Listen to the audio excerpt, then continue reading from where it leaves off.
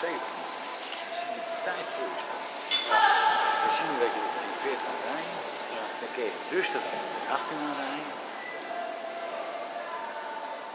Nou, ze waren net heel scherp proberen. Ja. Hey.